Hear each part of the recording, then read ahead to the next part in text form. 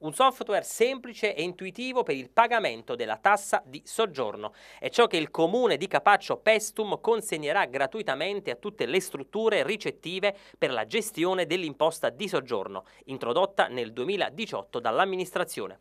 Il nuovo software realizzato dalla società Maggioli SPA sarà presentato agli operatori del comparto ricettivo lunedì 23 luglio alle ore 10.30 presso la sala Erica a Capaccio Scalo.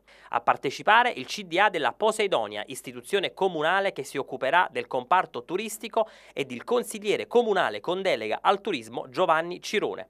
Il software, nello specifico, consentirà alle strutture ricettive di incassare in modo più semplice e veloce la tassa di soggiorno, per poi versarla nelle casse dell'ente, che investirà tali entrate per il miglioramento dei servizi turistici sul territorio.